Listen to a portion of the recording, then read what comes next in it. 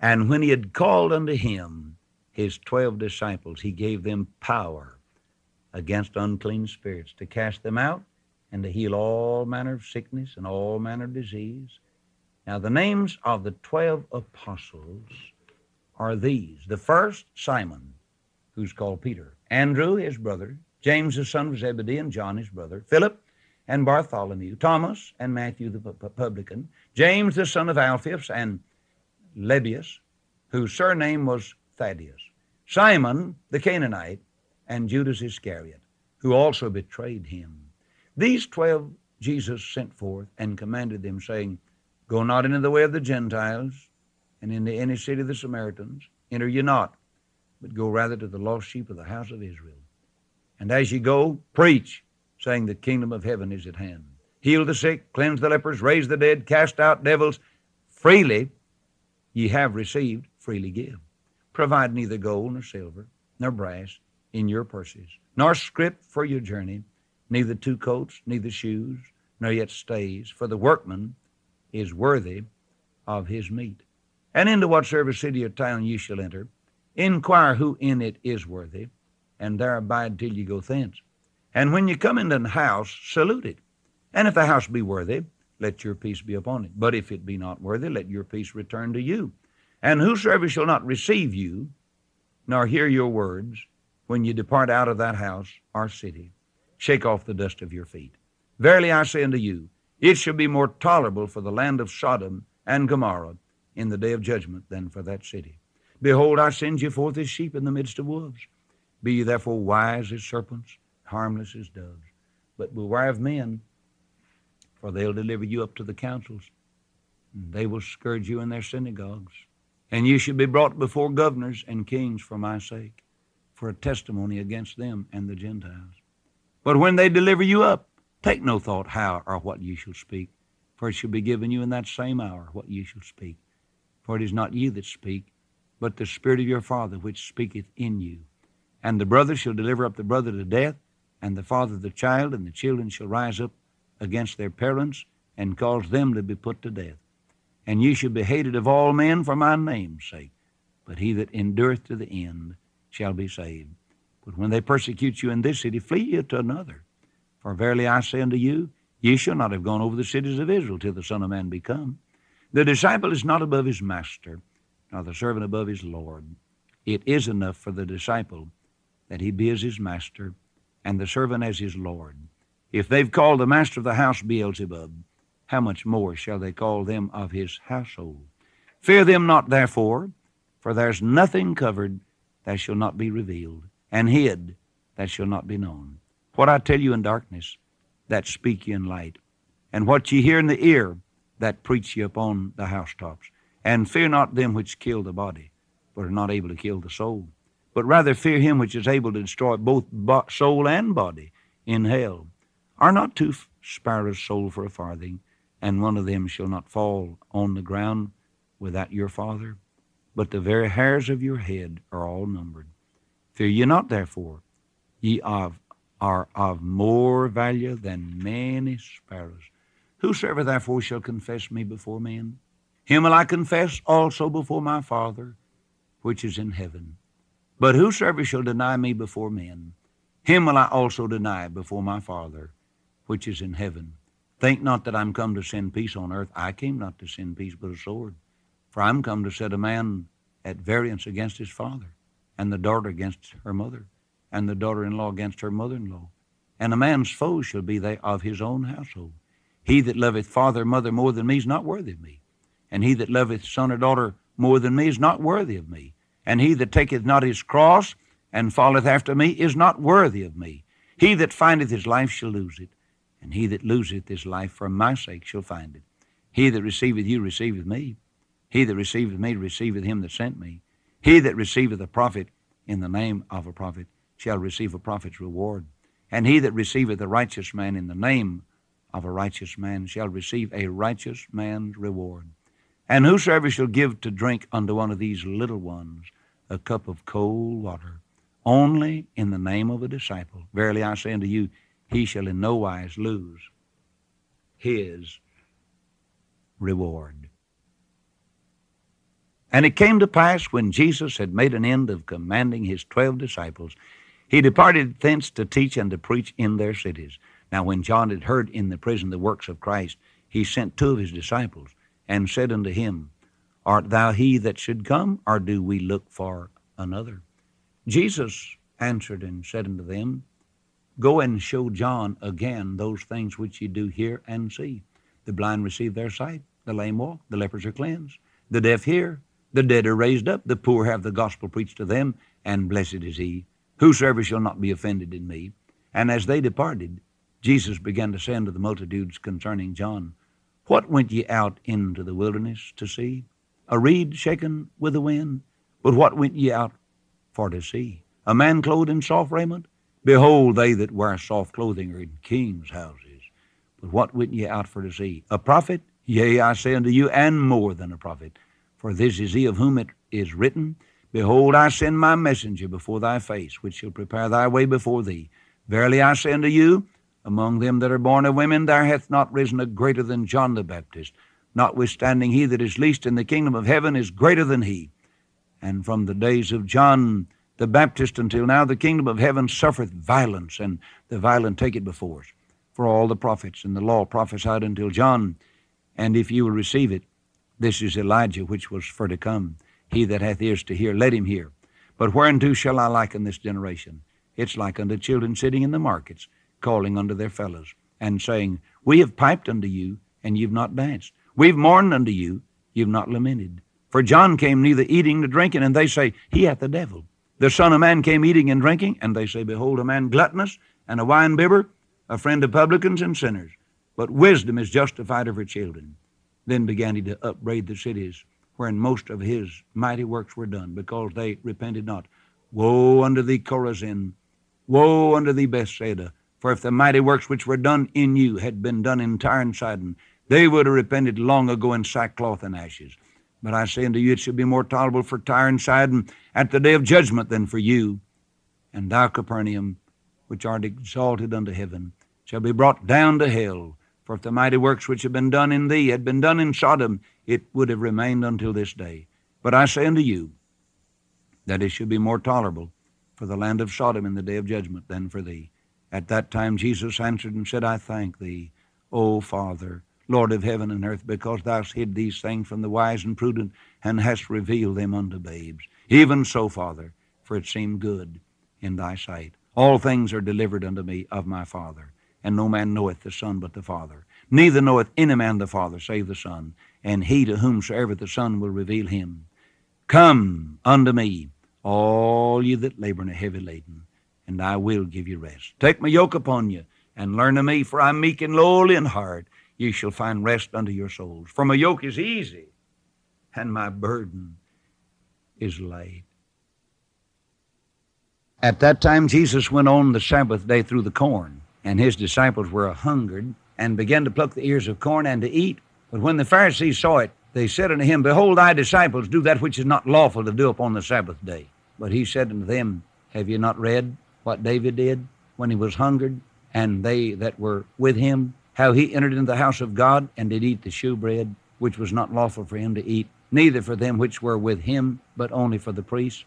Or have you not read in the law how that on the Sabbath days the priests in the temple profane the Sabbath and are blameless? But I say unto you that in this place is one greater than the temple. But if ye had known what this meaneth, I will have mercy and not sacrifice, ye would not have condemned the guiltless. For the Son of Man is Lord even of the Sabbath day. And when he was departed thence, he went into their synagogue.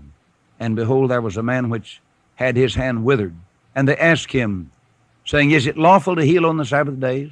That they might accuse him. And he said unto them, What man shall there be among you that shall have one sheep, and if it fall into a pit on the Sabbath day, will he not lay hold on it and lift it out? How much then is a man better than a sheep? Wherefore it is lawful to do well on the Sabbath days. Then saith he to the man, Stretch forth thine hand. And he stretched it forth, and it was restored whole, like as the other. Then the Pharisees went out and held a council against him how they might destroy him.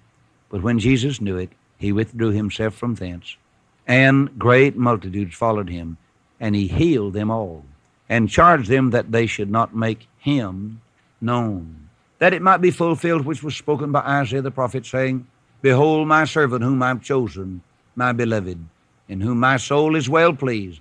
I'll put my spirit upon him, and he shall show judgment to the Gentiles. He shall not strive nor cry, neither shall any man hear his voice in the streets. A bruised reed shall he not break, and smoking flax shall he not quench, till he send forth judgment unto victory. And in his name shall the Gentiles trust. Amen. Then was brought unto him one possessed with the devil, blind and dumb, and he healed him, insomuch that the blind and dumb both spake and saw. And all the people were amazed and said, Is not this the son of David? But when the Pharisees heard it, they said, this fellow doth not cast out devils, but by Beelzebub, the prince of the devils. And Jesus knew their thoughts, and said unto them, Every kingdom divided against itself is brought to desolation, and every city or house divided against itself shall not stand. And if Satan cast out Satan, he is divided against himself. How shall then his kingdom stand? And if I by Beelzebub cast out devils, by whom do your children cast them out? Therefore they shall be your judges. But if I cast out devils by the Spirit of God, then the kingdom of God is come unto you. Or else how can one enter into a strong man's house and spoil his goods, except he first bind the strong man, and then he'll spoil his house? He that is not with me is against me, and he that gathereth not with me scattereth abroad. Wherefore I say unto you, all manner of sin and blasphemy shall be forgiven unto men, but the blasphemy against the Holy Ghost shall not be forgiven unto men. And whosoever speaketh the word against the Son of Man, it shall be forgiven him. But whosoever speaketh against the Holy Ghost, it shall not be forgiven him, neither in this world, neither in the world to come. Either make the tree good and his fruit good, or else make the tree corrupt and his fruit corrupt. For the tree is known by his fruit. O generation of vipers, how can ye, being evil, speak good things? For out of the abundance of the heart the mouth speaketh. A good man out of the good treasure of the heart bringeth forth good things, and an evil man out of the evil treasure bringeth forth evil things. But I say unto you that every idle word that men shall speak, they shall give account thereof in the day of judgment. For by thy words thou shalt be justified, and by thy words thou shalt be condemned. Then certain of the scribes and of the Pharisees answered, saying, Master, we would see a sign from thee. But he answered and said unto them, An evil and adulterous generation seeketh after a sign, and there shall no sign be given to it, but the sign of the prophet Jonah. For as Jonah was three days and three nights in the whale's belly, so shall the Son of Man be three days and three nights in the heart of the earth. The men of Nineveh shall rise in judgment with this generation, and shall condemn it, because they repented at the preaching of Jonah, and behold, a greater than Jonah is here. The queen of the south shall rise up in the judgment with this generation and shall condemn it.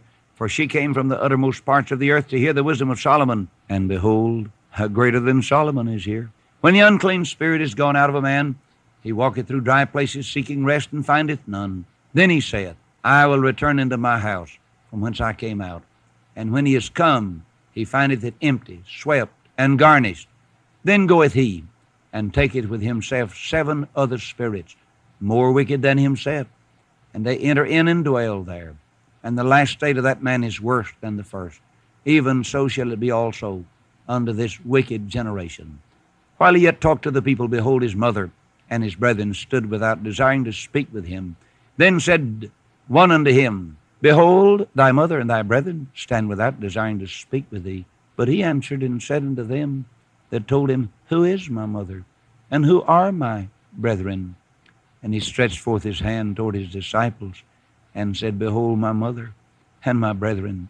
For whosoever shall do the will of my Father, which is in heaven, the same is my brother and sister and mother.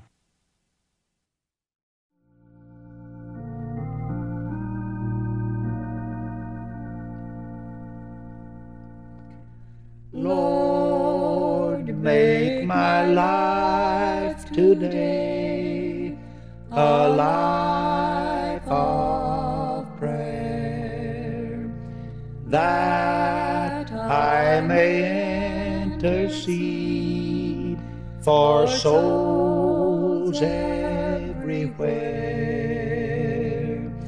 Lord, give me a burden today for the lost on life's perilous sea.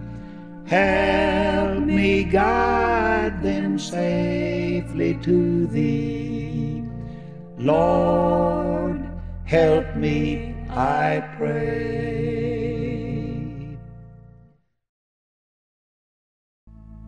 One sat alone beside the highway, begging. His eyes were blind, the light he could not see. He clutched his old rags and shivered in the shadows. Then Jesus came and bade his darkness flee. It's time to open the Word once again with evangelist Lester Roloff on the Family Altar program. Glory, for all is changed when Jesus comes to stay. There are so many chapters in the Bible uh, that uh, become people's favorite chapters. And I do not say maybe that this chapter tonight is my favorite chapter, even though it's a great and marvelous chapter. You know, if I received an invitation from the Queen of England and to visit the palace, uh, I do not know that I'd go. I really don't. I mean, the Lord had to tell me to go, but that's not the greatest invitation. If I did get one, now we're going to find us the text. We sure we're going right now to Matthew chapter 11. And it came to pass when Jesus had made an end of commanding his twelve disciples, he departed thence to teach and to preach in their cities. Now look out, we're coming up to a great passage here. One of the greatest men that ever lived. You see, when a man gets saved, he ought to fall out with the devil. Of course, I'll say this there's no way to fall out with the devil real good until you fall in with Christ. You got to fall in with Him. Now, uh, I didn't fall out with the devil and then fall in. I fell in with Christ and then I fell out with the devil. I found somebody so much better than the devil until I thought, my, that'd be cheap stuff going back to him. I mean, I swapped fathers a long time ago. I got me a lot better father. And so he said, uh, when John had heard in the prison, in the prison, you mean John's in jail? Yes, sir, he's in jail. You said right to go to jail for telling the truth about Jesus. He was Jesus' bulldozer. He was his road grader. That's right. He'd been getting everything fixed. About the time Jesus came along, they come arrested John, threw him in jail. Don't you know John would like to have been with Jesus? I guess it wouldn't be so bad to be in the jail, but it sure is bad when this thing happens to you right here. And I tell you, when people go to jail, there's a heap of things getting in their mind. All right. He said he, he, he uh, heard in the prison the works of Christ. He sent two of his disciples and said unto him, Art thou he that should come, or do we look for another? Do we look for another? Now, Jesus could have gotten a little rough on him. He said, Can you? He could have said, You go back and tell that backslider. You go back and tell that old boy he ought to be. He didn't tell him that. Jesus was always so tender and so gracious and so patient. That's reading he, he won a lot of them too. And so he said, Then Jesus answered and said unto them, Go show. That's it. Now that's that's a real text for you boys and girls and men and women when you go home. Do you know that? Go show. But you can't go show if you don't know. You got to have a no show before you can have a show show. And that's your need right there. Now, you've got to come to the place where you love Jesus just like you loved and lived for the devil before you got here. Now, and that'll be sufficient. But you see, uh, people think you say, well, I wouldn't want to be a fanatic. Well, I've come to a place where I do want to be one. I don't want to be anything short of a fanatic. But you know what? And I say it to my shame. I've never acted. I mean, if I could put it in the right way, I've never acted a big a fool about Jesus as people act a fool about the devil. Right. I mean, they just go crazy about him. I mean, they'll just get a car, steal a car. We had some boys ran away, stole eight cars. Eight cars. Sent a check for $105, you know, uh, for some of those fancy hubcaps. that the boys had a flat and just tore the things up, you know, getting them off of there. And the man said uh, he didn't have any insurance. One of these uh, new doodle bugs, you know, or cars, one of these fancy deals, you know. I don't know what the thing is, you know. And but anyhow, he said, uh, he said, "Are you going to do the right thing?" I said, "We always do the right thing. I mean, have to. We're living for Christ. I mean, there's no other way. I mean." He said, "Well, you're going to pay." I said, "Sure, we're going to pay. Come on out here. I want to talk it over with you."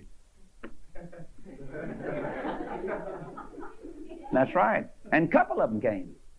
A couple of them came. I got to do the right thing. Told them about Jesus. That's right. Amen. All Uh, and then gave them a check for $105. You'd say, Brother Walk, did you have to? Don't because the did. But you see, you don't live for Christ doing what you have to do. You do what you ought to do. Right. Amen. We got a testimony to keep up. I mean, we got to, we're never going to bow over a dime or a quarter or a hundred or a thousand dollars. Brother, God wants His people to pay their debts and to do right. Amen. Now, I'll tell you folks, when you get back home, when you get back home, you straighten up all that stuff you made crooked before you left, too. Amen. Every last one of you. And I guarantee you, some of you got a lot of things to straighten up when you get home. I mean, just don't leave them stinking, decaying bills over there. Get on back and get your job and get them paid. See, Amen. God's people pay their debts. And I wouldn't give you a dime for a preacher. Fact is, they ought to run him out of town if he doesn't pay his bills and his debts. I mean, every Christian, every deacon, every person that's born again ought to maintain good works. See? Amen. Said, you go show John again those things which you do here and see. I never had got that. I just never had gotten it. Did you know what he did? He said, you tell him first what you hear. And then you can tell him what you see. Faith comes with what? There you are. Now I'll guarantee you, it'd be better to hear the Word of God than it would be just to see some preacher on television or see some fellow. If you listen to the Word of God and receive the Word of God, hearing, this, this is the way that Jesus gets. He goes through your ear. He come. Now I know you can see a man walking and living for Christ, but what we've got to do is to hear the gospel.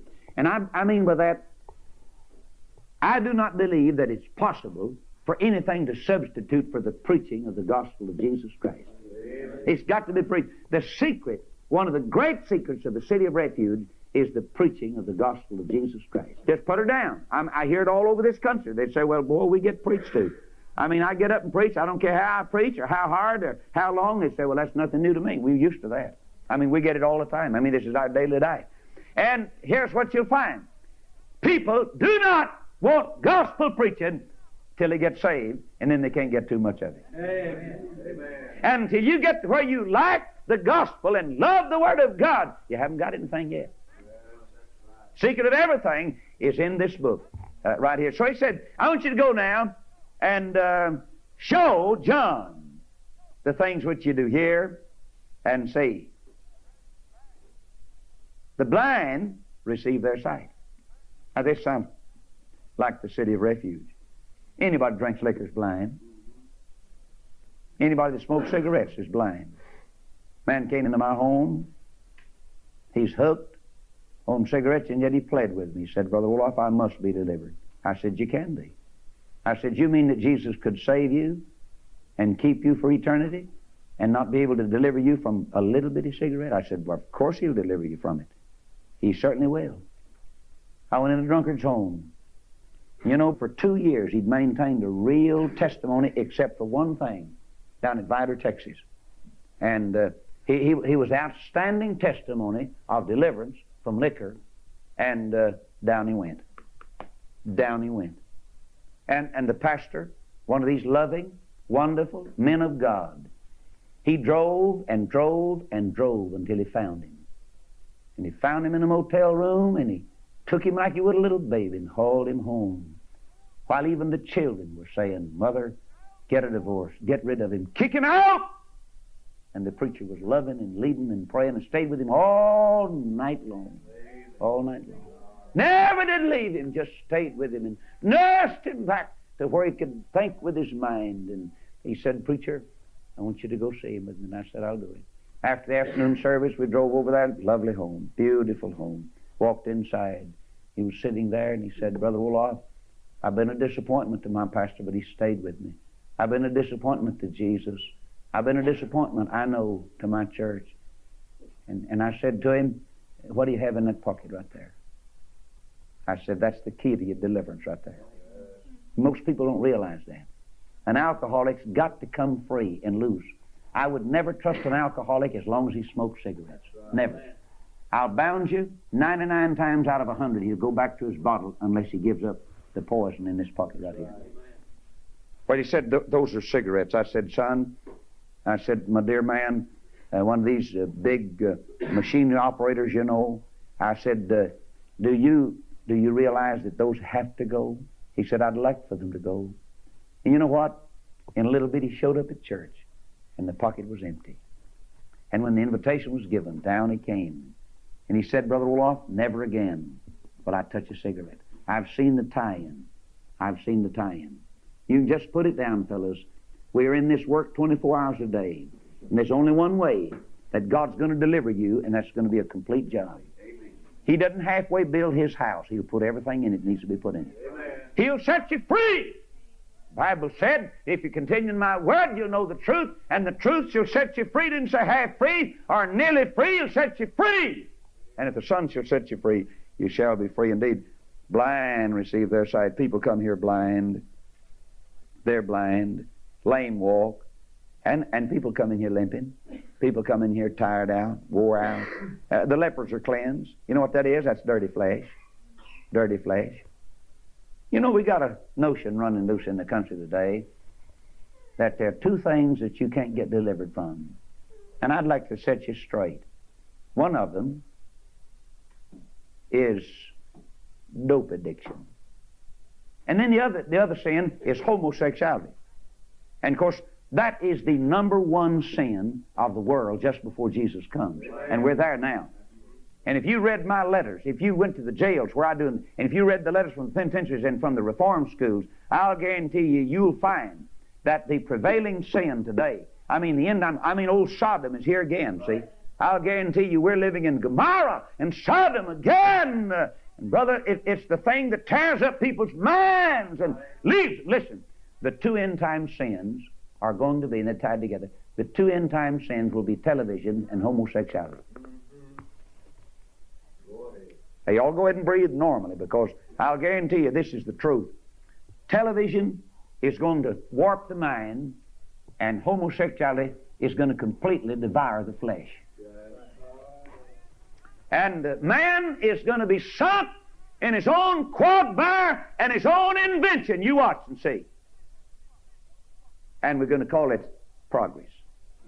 And here's what's happening modernism and the false prophets or preachers of this day, because they have no remedy for either, are saying, like the doctors say, when you have uh, some sort of a heart attack or incurable disease, you're going to have to learn to live with it. You can't live with sin. You, it's just like somebody, uh, you know, there's a prevalent saying crossing the country and, and, and all we need to dig in after these bywords and semi uh, profanity, people say, My goodness. Why, you lied. You don't have any goodness. Why didn't you tell the truth and say my badness? Yeah. but the flesh is too proud to say, Tell the truth. No, sir. So uh, that's and just like my daddy. And bless his heart, he didn't know any better because preacher didn't tell him. One of his words was the great Redeemer. Need be so disgusted with me. Listen, he's using Jesus' name in vain. That's the, and then uh, something else. Uh, my, my aunt would always use, well, the great I am. Brother, that's Jesus' name. You better, when you say the great I am, you better be on your knees or in reverence to God. You better be honoring God. You better not be trifling with God. No, the devil's got so many things, and he's pulled the wool over the eyes of God's people. And so he said, I want you to tell them something. Go show them and tell them. Uh, blind receive their sight, lame walk, lepers are cleansed. You know what a leper is? Jesus cleansed the lepers. It's a disease of the flesh. You know what cancer is? Disease of the flesh. It's, it's, it's rotten flesh. That's what it is. And, and when you eat rotten food, you'll have rotten flesh. I mean, everybody knows that. When you drink rotten drinks, you'll have rotten flesh. I mean, whatever you put in your system that's rotten, it'll make you rotten on the inside. Course, Mother Nature will do her best to sack it up and block it out and run it out and sweat it out. But I mean, she can't get rid of all of it. You just keep feeding it down and some of it's going to stay. And then that goes. So he said the lame walk, the lepers are cleansed, the deaf hear, the dead are raised up. And notice, the poor have the gospel preached to them. That's unusual, but that's Jesus. he was so unusual. The poor have the gospel preached to them. And blessed is he whosoever shall not be offended in me. But you know, I've got to go to my text. It's found in the 28th verse. This is the greatest invitation in the entire Bible, right here. This is the one that old Dr. Charles Fuller quoted so many times before he went home to be with the Lord. Come unto me. He didn't say, Come to my secretary. He didn't say, Come to one of my aides. He didn't say, Come to my church. He didn't say, Come to the baptismal waters. He didn't say, Come to do better. He didn't say, Come uh, to some big organization. He said, Come to me. And, brother, if you want what he's fixing to offer tonight and everybody needs it, you're going to have to come to him to get it. And I'll tell you, if ever I've seen a tired bunch of people, it's alcoholics and narcotic addicts when they come walking or dragging in. I mean, they're tired. They're tired physically, they're tired mentally, they're tired out. I mean, they're dead in trespasses and sin. If you want to see somebody that's tired, uh, you watch a man after he spends all he's got in riotous living. I'm just going to take it for granted. As long as a man will show up to hear the gospel of Jesus Christ, there's hope for him. Jesus said, Come unto me, all ye. You know, one of the things about this invitation, it includes so many people. And when you put the word A-double-L, that means just not anybody left out. And he said, God is not willing that one should perish, but as A-double-L, all should come to repentance. And brother, the only way you'll keep from perishing is to come to repentance. And I believe one of the great doctrines that needs to be preached today is repentance. I believe we're going to have to literally repent of our sin and ask God to forgive us and cleanse us and, uh, and, and, and show some godly sorrow for sin. He said, Come unto me, all ye that labor and are heavy laden. Now then, when you get like that, you're ready to accept God's mercy. You can't get a man. That's the reason it's hard to get a man. Uh, that, for instance, one of the hardest fellows we ever get delivered is a man that's drawing a pension. If he's getting three, four, five hundred dollars a month, you know, two hundred dollars a month, I mean, what he'll do, as he usually do, he'll save it up while he's here. And when he gets a pretty good nest egg, he said, Man, I could stay drunk for 30 days on that. See? Never give a dime to the work here, which I think is a crime. I really do. You know, oh, there's so many things I could say, but one of the things you got to learn if you get saved, folks, you got to learn to give. You'll never learn to live till you learn to give. Never will. And I tell you what, you might you might keep the victory by not supporting the work that God got you saved through, but you will not get the blessings God has in store for you. And I tell you what, I believe. I mean, if I was out in the Corpus Christi Bay and my old boat had gone down like it did one night over yonder at the air base, I mean, over the bay, dark as pitch, and I was alone. But I tell you, I was, I was really anxious to get to the shore. And I started swimming, the little boat going under, and all the stuff was floating, and I wasn't worried about anything except me. I wanted to get to the shore, and I started swimming. But I tell you one thing if I'd have just kind of finally gone under.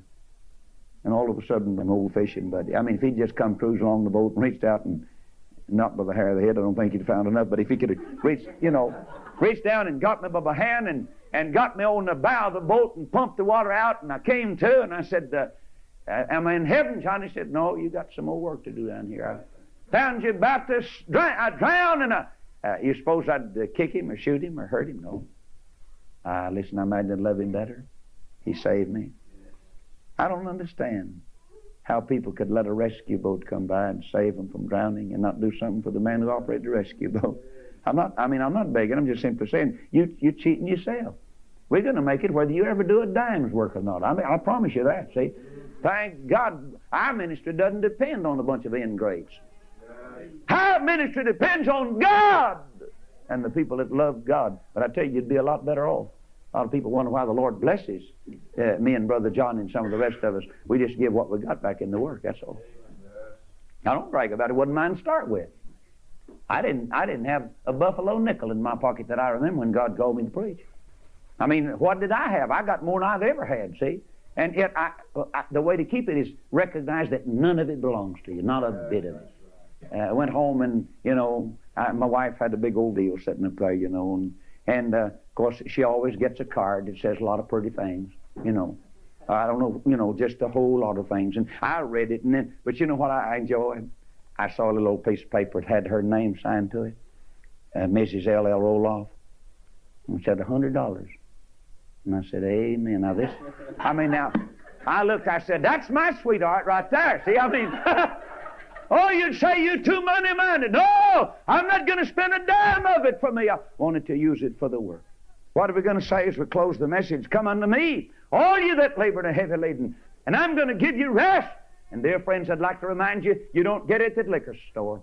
You can't find it at the drugstore. You don't find it on the operating table. And you don't find it on the couch listening to some psychiatrist tell you to forget the Bible and don't pray, brother. You're going to find it when you get to Jesus. Amen. No other place to get that kind of rest. That's all I kind of want. I don't want this store-bought rest. I don't want this stuff you have to drink out of a bottle. I don't want this stuff comes out of a sharp needle. I don't want this stuff uh, that makes you feel worse when you wake up than you did before you got it. Oh, listen, dear friends. Jesus said, uh, Come unto me, all you that labor and are heavy laden. I'll give you rest. What an invitation. And yet, did you know most people have rejected it? I'll guarantee you, more people will go to sleep tonight on man made sleeping pills than on this verse right here. To me, that's a tragedy, Patty. It's a tragedy. You think of the people that Jesus said, and He told them all to come. Everybody can come, the rich and the poor, the president and the king and queen, and all the ditch diggers and drunkards and nobody. Come on, all of you. I'll put you to sleep tonight. Thank God for the privilege. Oh, I remember the time when my little old tired, weary body would come a dragging in after a busy day of playing, and my face is dirty, and my feet is dirty, and my little old clothes is dirty, and my mother would wash me and bathe me and lay me in her arms and rock me many times on an old straight chair, but it just as smooth as a rocker. For about two minutes, my eyes would close. Talk about rest. My mother said, I love you dirt and all. Yeah. yeah. Dear friend, she said, you come get in my arms. Give you some rest. Jesus is saying with those outstretched arms of love, nails, scarred hands, drunkards, dope addicts, uh, men and women up and out and down and out. Come on, all of you, and I'll give you rest. And the tragedy is that people will pass Jesus up and pass Calvary up and Golgotha up and walk in a drugstore and say, as they pull out the billfold, give me $15 worth of rest. And yet you'll be tired of when you get through taking the filth and you were. Walk in a liquor store and say to some old fat saloon keeper with his big Cadillac or Lincoln Continental sitting out there by the curb, I want about $20 worth of fun. Wake up in the jail in the morning, the fun's all gone. Somebody said you're charged with drunken driving. Your license is going to be, you can't drive no more. About the best you can do is to walk or get a bicycle. Brother, that's the devil's fun for you. You better listen to me tonight. Jesus is saying, My yoke is easy and my burden is light. Take my yoke upon you, said. Learn of me. Learn of me. That's after you come, you see, and get your rest. He said, Now come and let's learn together. I want to teach you something, for my yoke is easy. Oh, listen, when I talked to a boy locked up in the jail, he said, My, my yoke is hard. I said, Mine is easy. Mine is easy.